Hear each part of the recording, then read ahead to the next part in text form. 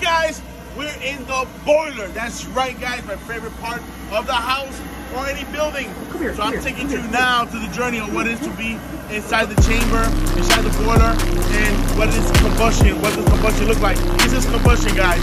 So I want to give you a little sneak peek of what it looks like. Also want to show you something very quickly. So now, we're running very rich, too much uh, fuel, not enough air. Very hard to see in the camera, but it's a smoky fire. However, if I give it too much air, notice how the characteristics of the fire is changing. So now we got a little peanut fire, and it shut off. So guys, this is what it is to be the boiler man, Louie the boiler man. So you need to have the right instruments and you need to know what the fuck you're doing to know what it is to work on a boiler. So if you have any questions, please feel free to call Louie the Boiler Man, 516-377-5200. But most importantly, subscribe to our YouTube channel. We'd love to hear from you. Hit that bell button, subscribe, leave a comment below. Wepa.